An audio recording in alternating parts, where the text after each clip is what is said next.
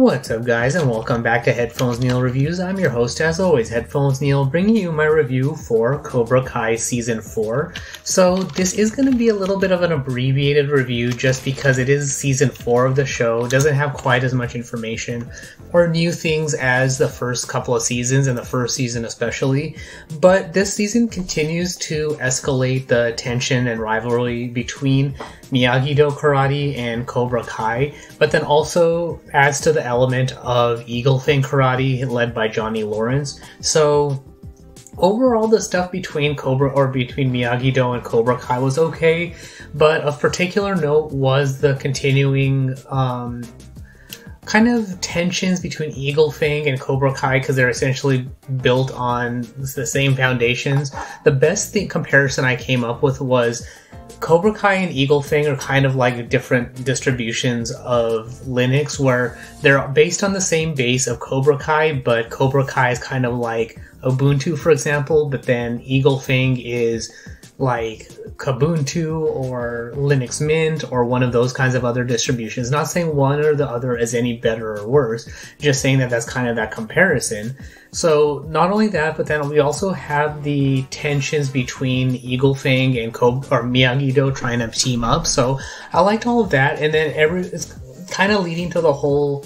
Um, or the season basically raises that whole question about um, who does who does each of the students want to be and how can they incorporate what they're learning into their regular daily life to make them happy with what they want to or make them happy with how they are. So of particular note are um, daniel larusso's daughter and um, hawk so i think they had the best um, general progressions in the show just because hawk ends up coming back to I, I, think he ends up rejoining Eagle Fang or potentially Miyagi Do, but then Daniel LaRusso's daughter ends up merging uh, Miyagi Do and Eagle Fang into her fighting technique. So, all in all, good stuff. Um, the runner up was uh, potentially the um, lady, the girl from um, Cobra Kai, who was having who has trouble with her family and her aunt and all of that, and basically she's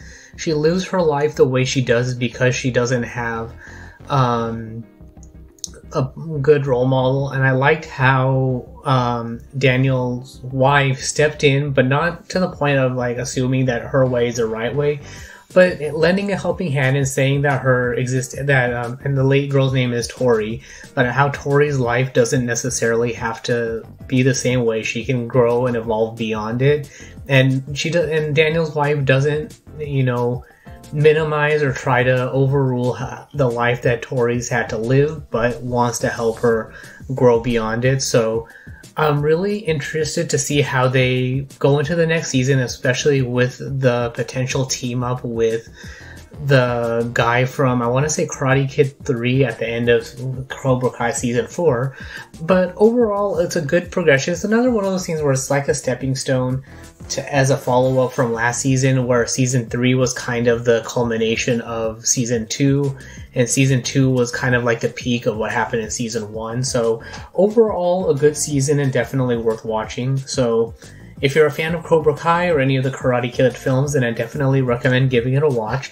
Um, the other thing that was a particular note that I liked was the introduction of um, John Kreese's old war buddy, um, who he saved from Vietnam. Um, I'm drawing a blank on the guy's name right now, but I liked how they continued to have that throwback to their time in Vietnam during the war. And basically, if you've seen Rambo, I want to say two or three, where they did introduce the John Kreese character for that film. He might have been under a different name, but um, I like how they continue to have that throwback to the point where I would kind of be interested to see if they end up having Sylvester Stallone show up to, um, like whether it's just a simple cameo to give um, Cobra Kai, or sorry Miyagi Do or Eagle Fang some sort of boost with how he defeated those guys, or ends up joining and merging um, Eagle Fang and Miyagi Do into a third, you know, a big um, like overarching company to handle both and kind of merges the two te- teachings to show how what gave him peace that both ways are good but they have to have a merging to um, team them up or meet them up in a good middle ground. But um, that it would be nice to have a Sylvester Stallone cameo just to kind of you know in, it doesn't necessarily have to be in season five but uh, I think season five would be good to hash out, you know, finally hash out the whole rivalry between Cobra Kai and then Eagle Fang and Miyagi Do. But if tensions continue to escalate, then they have to take things even further.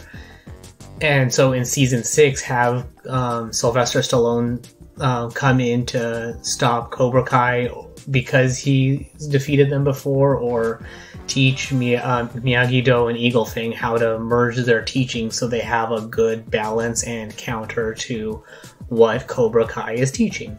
So that's all there is for this particular review. So if you have any questions, comments, feedback, or anything like that, you can find me on Twitter at PatelN01. You can support the show on um, Patreon at patreon.com slash pateln01.